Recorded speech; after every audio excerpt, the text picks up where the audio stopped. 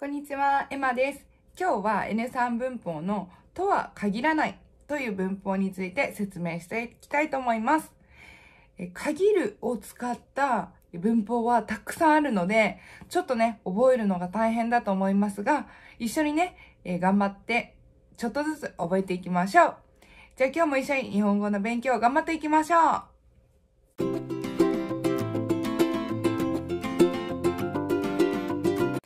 では、まず使い方から説明していきたいと思います。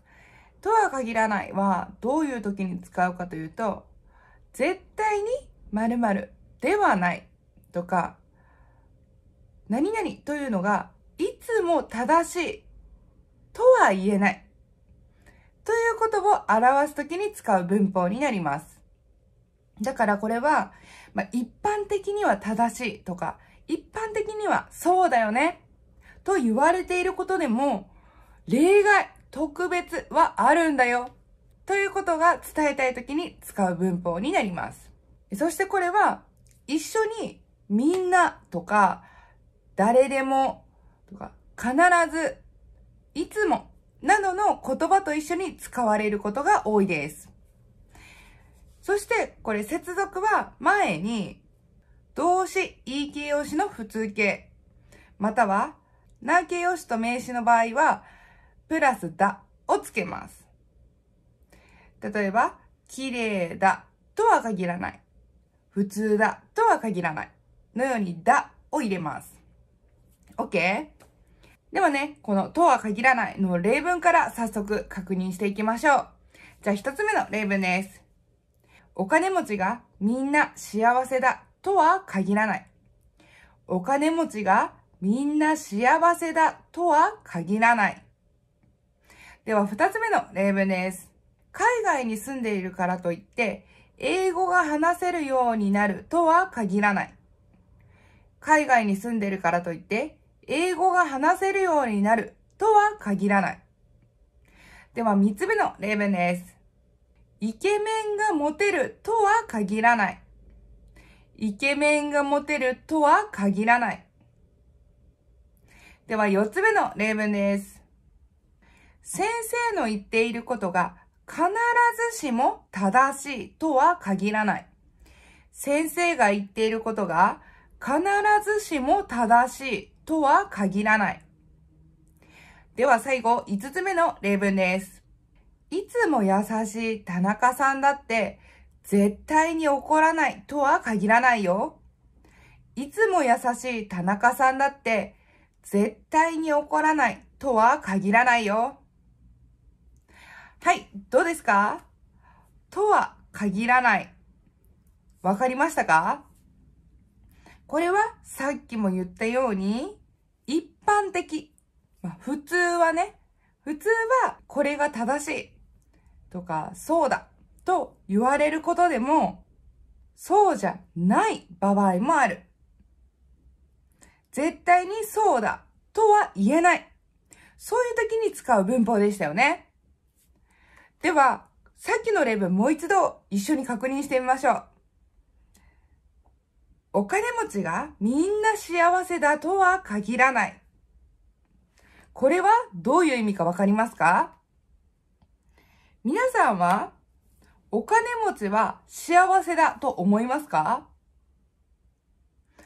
普通は一般的にはお金持ちだったら幸せだと思いますよね。そういう意見が多いと思います。私もそうだと思います。お金持ちだったら、だって何でも買えるし、どこでも行けるし、何でもできますよね。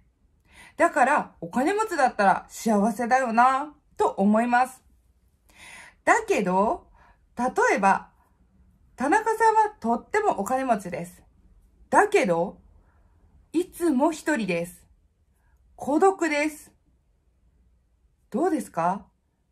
これは幸せと言えますか？これはお金持ちだけど幸せじゃないかもしれないですよね。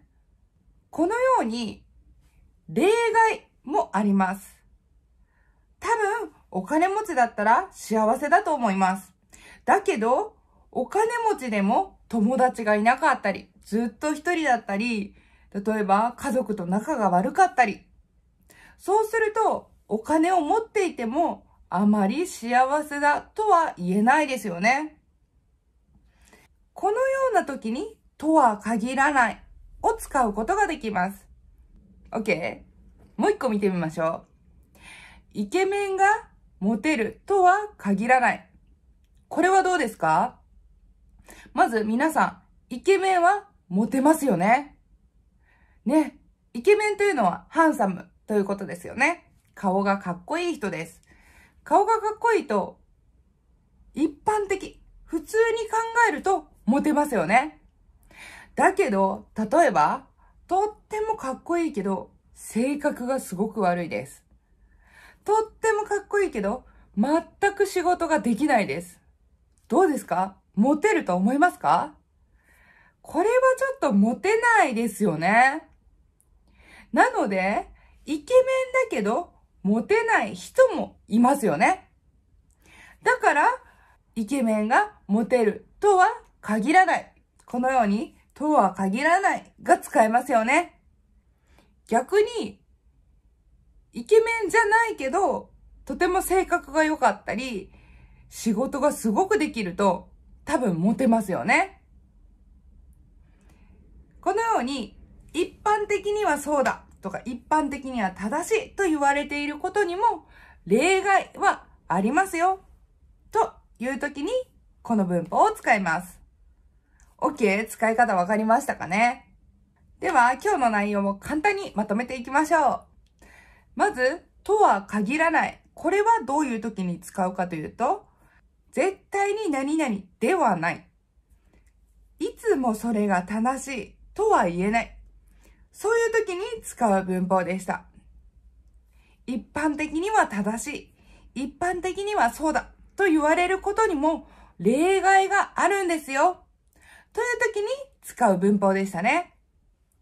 そして接続は前に動詞と言い形容詞の普通形。名詞とな形容詞の時はプラスだをつけます。綺麗だとは限らない。普通だとは限らない。OK? そして、このとは限らないは、一緒に、いつもとか、みんな、必ず、絶対、などの言葉と一緒によく使われます。そして、この限るを使った文法は他にもたくさんありますから、他の文法と、こう、一緒にならないように気をつけてください。OK? 今日勉強したとは限らないの使い方、わかりましたか？はい。では今日はこれで授業を終わりたいと思います。皆さんお疲れ様でした。どうですか？とは限らないの使い方、わかりましたか？もう使えそうですか？これ、とても便利な表現ですよね。日常会話でも使える文法の一つですから、ぜひ覚えて実際に使ってみてくださいね。そしてさっきも言ったように、限るを使った文法は他にもたくさんありますから、他の使い方と間違えないように気をつけてくださいね。では、今日も最後まで見ていただきありがとうございました。今日の動画が面白かったな、ためになったなと思っていただけたら、またいいねボタン、そしてチャンネル登録の方よろしくお願いします。ではまた来週、このチャンネルでお会いしましょうね。いつもありがとうございます。さようなら、またね